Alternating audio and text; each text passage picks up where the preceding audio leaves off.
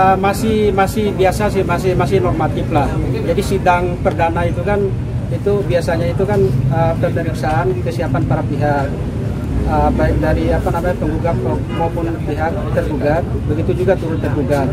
Akan tetapi tadi itu sebenarnya bukan dari pihak tergugat ya uh, pihak kami kami sih sudah siap tapi uh, rupanya dari pihak uh, turut tergugat.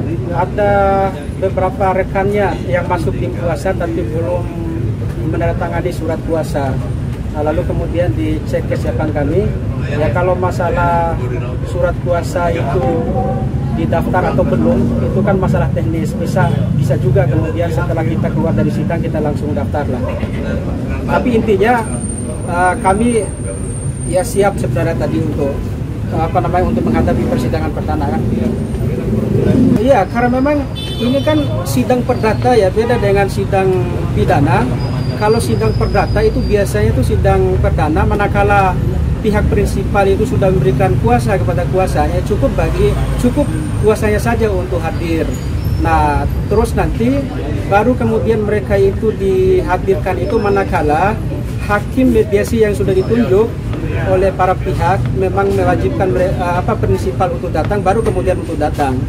Nah itu sebenarnya bukan karena kemudian prinsip kita itu uh, tidak mau datang gitu loh, tapi karena memang belum waktunya gitu loh.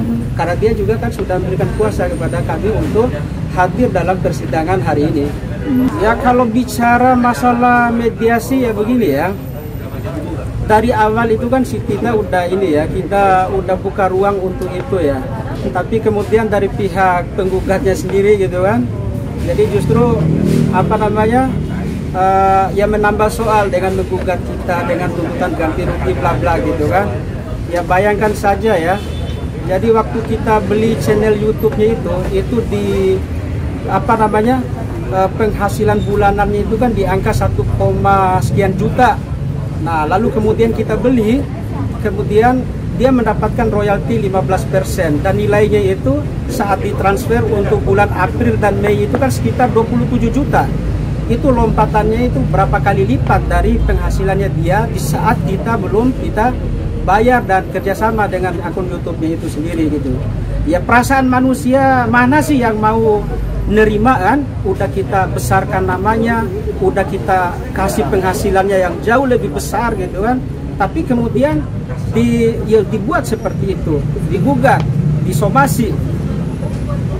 Nah, ya saya pikir kalau masalah damai atau mediasi ini kan formalitas aja lah. Bagi di pihak klien kami rasanya ya tipis kemungkinan lah gitu kan. Ini karena kita bicara manusia ya, bicara manusia susah untuk menerima hal itu. Dan kami siap untuk menghadapi ya manakala kemudian sidang itu diteruskan sampai ke pembuktian. Yang mana itu? Tadi kata pihak dari pihak sakit bahwa pihak Agi jadi masalah duit itu yang ditransfer oleh pihak klien kami itu ya itu bukan hanya ya istilahnya begini jadi bukan hanya uang untuk urusan misalnya beli channel YouTube kemudian bukan hanya sebatas apa namanya kita berikan advance royalty tapi ada uang-uang yang lain-lain juga. Jadi tidak bisa kita inilah ada dalam bentuk pinjaman biasa kemudian ada dalam bentuk apa pemberian pribadi dan sebagainya macam banyaklah uang yang diberikan itu dari angka satu juta ya sampai ratusan juta. Nah, yang ratusan juta itu adalah untuk pembelian akun YouTube itu sendiri. Ini orang ini perlu ditanyakan ya. Jadi kejiwaannya itu ya. Saya berani katakan begini. Coba bayangkan ya. Saya harus sampaikan ini. Royalti yang udah dia terima sebanyak 15% setelah ditransfer ke rekeningnya ya. Uang sudah masuk ke rekeningnya, kemudian admin itu mengkonfirmasi ke WhatsApp-nya Sakir gitu kan. Jadi uangnya itu udah ditransfer dari 15% itu sekian puluh juta. Itu tanggal 29 Mei tahun 2000 2020 ya. Terus tanggal 13 uh, eh, bulan Juli kemarin, bulan Juli ya, saat dia di BAP di Polda, itu dia berani mengatakan bahwa royalti itu sama sekali tidak terima gitu kan. Makanya kita itu punya kesimpulan bahwa ini orang memang sengaja dia itu uh, apa namanya uh, merencanakan sesuatu jadi untuk menyampaikan kebohongan di hadapan publik guna untuk menjatuhkan reputasi dan wibawa Pak Agi Sugierto itu sendiri Saya tidak tahu siapa yang bermain di belakang itu sampai dia berani. Dan ini sekaligus kami menyampaikan somasi terbuka kepada Sakir CS itu. Adapun hal yang dia sampaikan di Polda tanggal 13 kemarin selepas dia diperiksa di Polda terkait dengan bahwa pihak Pak Sugianto tidak mau memberikan royaltinya dia, tidak mau membayarkan royaltinya dia, itu kan adalah merupakan fitnah dan pencemaran nama baik. Dan ini perbuatan pidana baru yang dilakukan oleh Sakir.